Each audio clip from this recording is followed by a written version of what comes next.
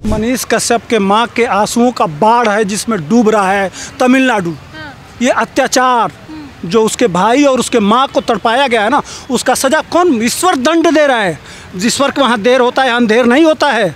आज नाव चल रहा है गली गली में आज N D R F S D R F सा एक हफ़्ते से घर में घुसे हुए हैं लोग। वहाँ की गवर्नमेंट तो मस्त बैठी होगी ना उन्हें क्या दिक्कत? अरे मुख्यमंत्री के घर में पानी घुसा है हाँ। और लोग गालियाँ दे रहे हैं। वह जब मनीष कश्यप जेल में था। आज पूरा तमिलनाडु जेल में है। ऐसा क्यों कह रहे हैं? भाई चारों तरफ़ बंद है। मनीष कश्यप के बाप जिस सेना में रहते हैं उसी से वही सेना लगी हुई है। सेना के जवान के बेटे को तुम जेल में डाल के कैदी बनाओगे तो देखो आज वही जान बचा रहे हैं ना वही सैनिक। शब्दों में बताइए ना कि आप कहना क्या चाहते हैं? कहना क्या कहते हैं? कि ईश्वर के दरबार में देर होता है, अंधेर नहीं होता, उसका पाप का घड़ा भर गया था। इसलिए कि एक ईमानदार आदमी जि और बाप ईमानदारी से काम कर रहा है, जिसका परिवार ईमानदारी से कर, काम कर रहा था, वो ईमानदारी से काम कर रहा था। गरीबों की आवाज़ उठाना और गरीब का मतलब होता है भगवान। मनीष कश्यप जैसे ईमानदार पत्रकार को तुम जेल में भेजो तो भगवान छोड़ेंगे, तुम्हारी बजा देंगे। आज बजा हुआ है ना? नमस्कार आपके साथ मैं ज्योति सिंह। आप देख रहे हैं सच टॉक्स। देखिए तमिलनाडु में बीते कई दिनों से जल जमाव देखने को मिल रहा है और वहाँ पे जो चक्रवात आया है उसको लेकर के लगातार लोग अपनी प्रतिक्रिया दे रहे हैं। उसी पर बात करने के लिए सुधीर जी मौजूद हैं।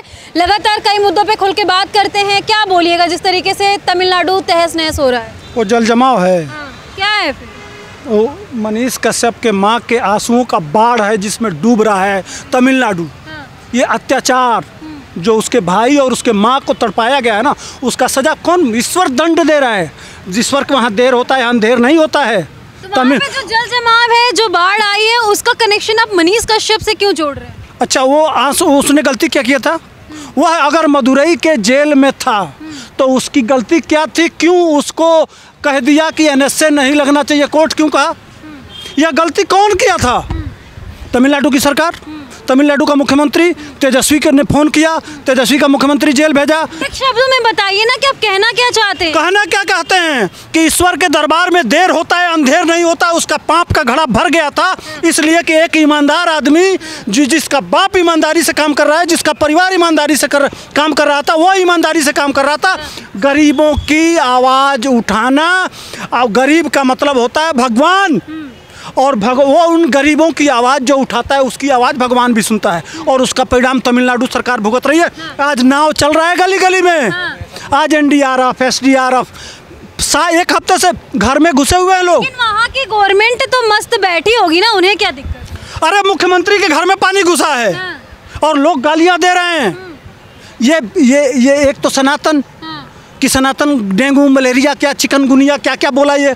उसकी सजा भुगत रहे हैं। और दूसरा, मनीष कश्यप जैसे ईमानदार और और गरीब पत्रकार को तुम जेल में भेजो तो भगवान छोड़ेंगे, तुम्हारी बजा देंगे। आज बजा हुआ है ना? क्यों बजा रहे हैं?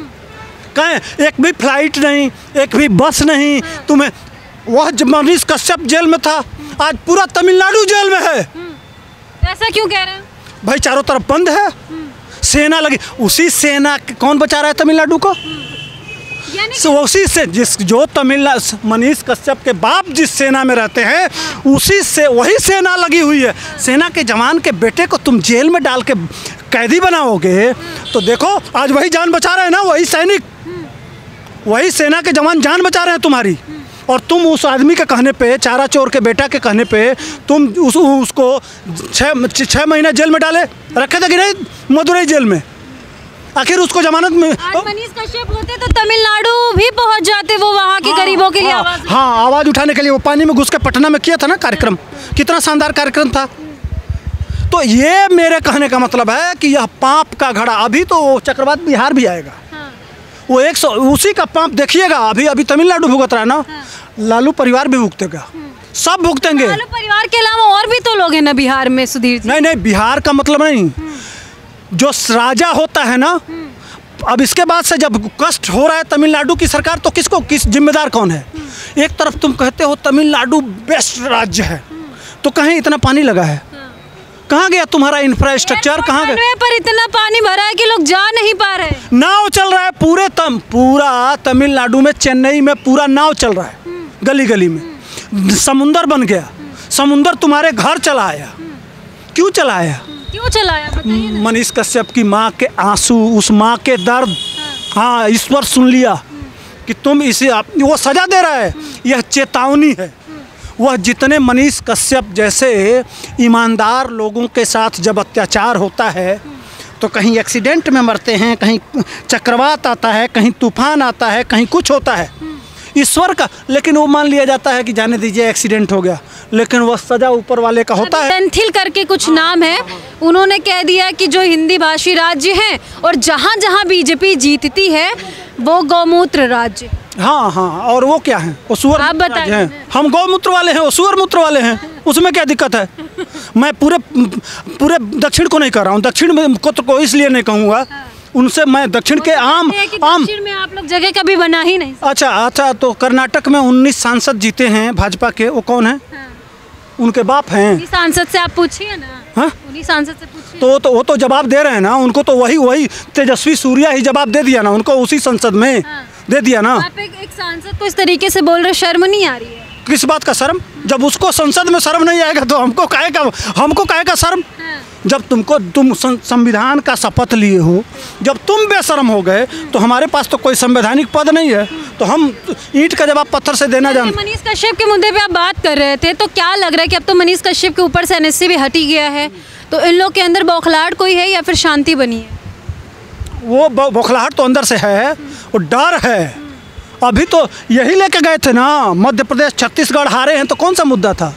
जाति जनगणना आरक्षण नौकरी यही सब मुद्दे जो बिहार के मुद्दे थे वही लेकर राहुल गांधी गए थे। आप आपका कहना ये भी कि मनीष कश्यप के साथ जितना गलत हुआ है वो भुगतना पड़ेगा तमिलनाडु स्टेट गवर्नमेंट को या फिर वहाँ की सरकार देखिए वही कह रहा हूँ कि वो जो आज बिहार के जो मुख्यमंत्री जी हैं और तेजस्वी यादव हैं जो जो मुद्दा बिहार के सामने रख रहे हैं वही मुद्दा गया था तीनों जगह। तो क्या हुआ? यह हार भी मनीष कश्यप के वजह से है। और क्या? ये तो आप बड़ी बात कह दी है। अभी तक तो ऐसा किसी ने कहा ही नहीं मैं कह रहा हूँ। क्यों कह रहे हैं? क्यों कह रहे हैं? इसलिए कि वो वहाँ की जनता भी देखी कि एक ईमानदार पत्रकार को यह सब जेल में बंद कर दिए। मनीष कश्यप का खोल के लगातार समर्थन करते रहते हैं। हालाँकि इनकी बातों को लेकर आप कितने समय हैं? कमेंट सेक्शन में जाके हमें ज़रूर बताएगा आगे आपको ऐसी जानकारियाँ देते रहेंगे। जय हिंद।